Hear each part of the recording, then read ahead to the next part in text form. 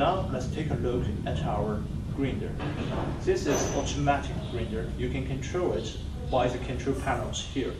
With all the buttons was written in English, it's easy for you to understand it. Now let's see how the machine works. Please look at here. This will be the feeding box and you can use all the raw materials by layer to put it inside here.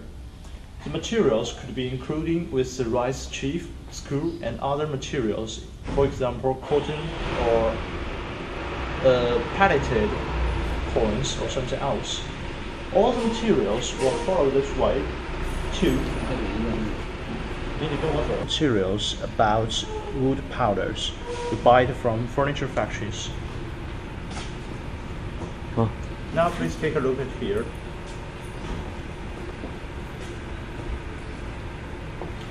All the wood grinders will use vacuum system from the feeding box to the pre-grinders, which will be here.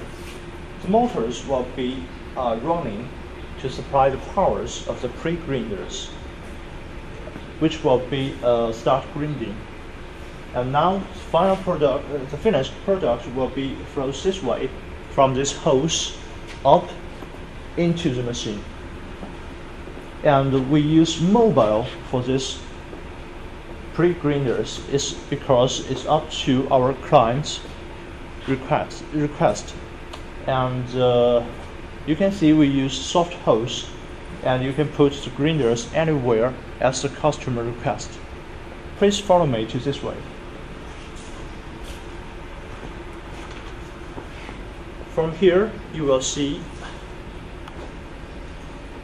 the product from the pre pre-grinders will flows from the hose up to there, up to there, and then it will goes down from here to here. There will be a brush inside it, and there will be a net inside it.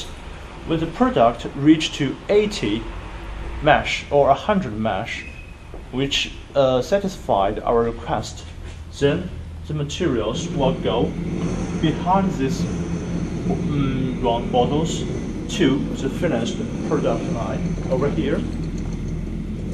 Yeah. Then it will collect it here. You can see all the wood green wood powders will flow down from that pipe to here to the end products.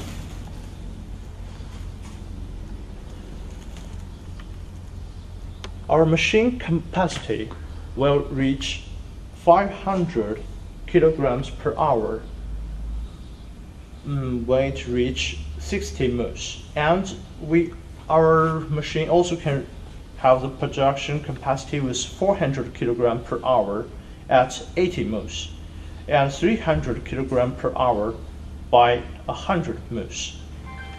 You will have a question, please follow back here what you see if the pre-grinder's product reach 100 motion, for example, the finished product will go like this way. But if it doesn't reach 100 mesh, what's what going on? From this brush and the net, if the wood, green, wood powder didn't reach 100 mesh, then it will flows down from this way. You also can take a look inside. 请过来一下。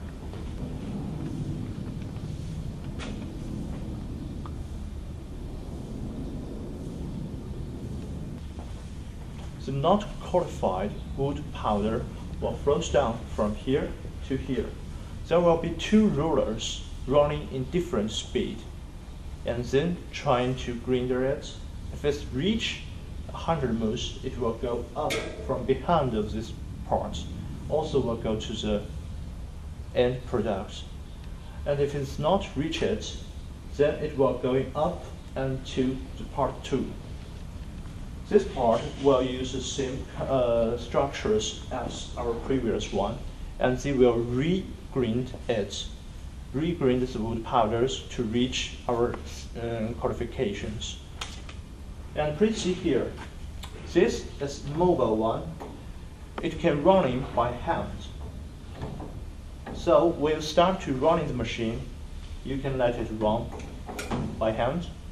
And if you want to stop it, just get it back, that's okay.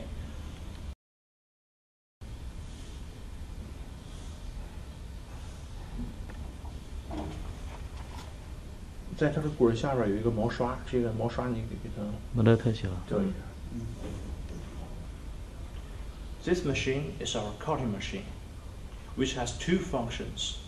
The first one, we can see this machine has two engines here. One, you can feed some of the small materials here, please see here.